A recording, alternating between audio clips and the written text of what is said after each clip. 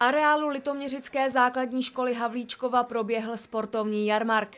Vůbec první akce svého druhu ve městě měla za úkol především zpropagovat místní sportovní kluby a oddíly. Na ploše Havlíčkovy základní školy je 30 sportovních oddílů z Litoměři, který nabízí eh, aktivity dětem, sportovní kroužky, představují své úspěchy, jaké jsou tréninky, jaká je finanční náročnost. Zkrátka na jednom místě se všichni mohou dozvědět, kde, s kým a jak mohou eh, sportovat. Sportovní jarmark organizuje Zdravé město Litoměřice se Sokolem Pokratice, Slavojem Litoměřice a základní školou Havlíčkovou. Eh, kromě toho tady máme stánek Fakulty tělesné výchovy a sportu, eh, také bezpečnost potravin a je tu bohatý program. Vystoupil Tomáš Zedek na cyklotrialovém kole, je tu divadlo pro děti a v další části se představí další kluby se svými vystoupeními. Zejména nejmenší návštěvníky sportovního jarmarku zaujala možnost si vše vyzkoušet. K mání byl například veslařský trenažér,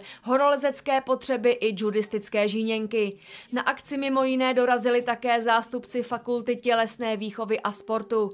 Zájemcům pomocí přístroje prováděli analýzu celého těla a následně jim radili, který sport je pro ně s ohledem na fyzické dispozice nejlepší. Nabízíme měření aktuální tělesné kompozice lidí. To znamená, kolik pak svalů člověk má v těle, kolik pak řekněme tuků, jak zdravých, tak nezdravých, jestli pak nemá nějakou svalovou disbalanci, čili jak je na tom pravá, levá polovina jeho těla, jestli tam není nějaká predispozice ke zranění a podobně. Zatím vše v rámci této akce samozřejmě naprosto gratis, včetně interpretace výsledků, čili nedáváme jenom, jak se říká, papír, ale rovnou řekneme, co pak, co pak eh, to pro to tělo znamená konkrétních lidí. Chtěli bychom tímto způsobem propagovat a upozornit na to, že skutečně ta současná situace, řekněme péče o zdraví je dost zásadní, zejména v tom hledisku, aby se lidé hýbali, aby měli zdrav, zdravé tělo, protože, jak se říkalo, ve zdravém těle zdraví duch. Akce se zúčastnili i litoměřičtí jachtaři. Tohle je jeden ze způsobů, jak, ten, jak povědomí o jachetním sportu dostat mezi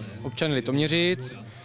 Postupně připravujeme další nábory, máme webové stránky, připravujeme letáky do škol a podobně. Jachtarský sport v tuto chvíli v Litoměřicích reprezentuje celkem 10 mladých jachtařů do 18 let a například dneska jsou na závodech v, na Barboře u Teplic. Přestože sportovní jarmark v Litoměřicích zažil malou premiéru, účast na něm byla hojná a zdravé město proto doufá, že ho bude moci uspořádat i příští rok.